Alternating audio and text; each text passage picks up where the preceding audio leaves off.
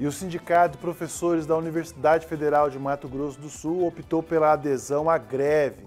A paralisação se iniciou nesta semana. O sindicato se junta aos trabalhadores administrativos que já estão em reivindicações desde o mês de março. O repórter Emerson William tem mais informações.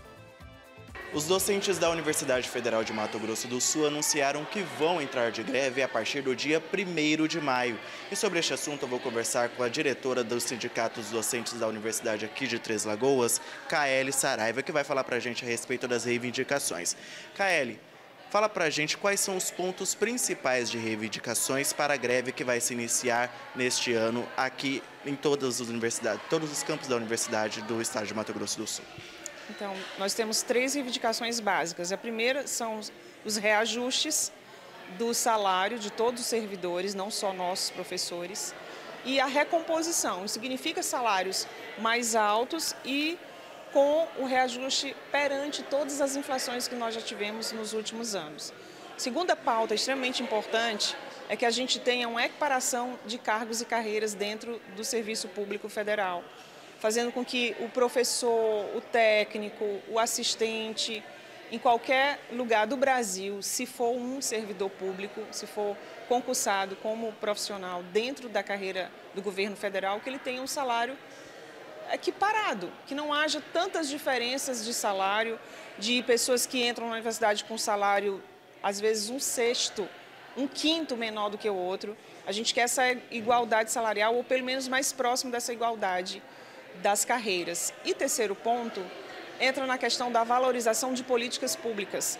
Então, para isso, a gente está é, reivindicando que várias resoluções, várias decisões do governo federal, desde a época do governo Temer, sejam derrubadas, porque são decisões que têm mudado a estrutura das políticas públicas de educação no nosso país, principalmente nas universidades públicas, e que têm sucateado a educação pública, têm diminuído incentivos fiscais, tem diminuído é, recursos que nós recebemos para bolsas, para pesquisa, tem é, precarizado o nosso trabalho e desrespeitado as nossas liberdades democráticas como educadores dentro das universidades públicas. Professor, a última vez que os servidores, que os professores da Universidade Federal adentraram uma greve foi há nove anos atrás. Na última vez que vocês fizeram uma greve, o, as reivindicações foram atendidas e o que, que mudou de nove anos para cá?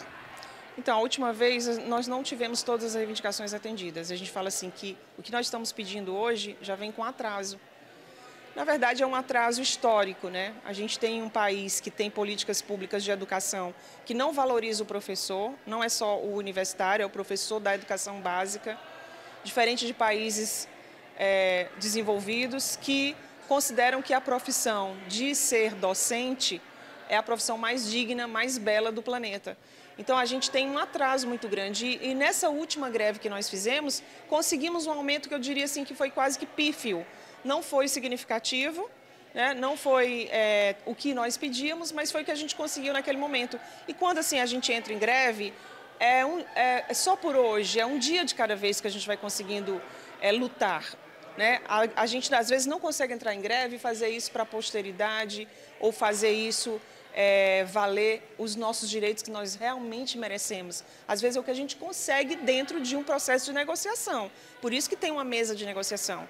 Né? Não é porque a gente está lutando que a gente vai ter certeza que a gente vai conseguir tudo o que a gente quer. No entanto, esperamos conseguir o máximo que merecemos.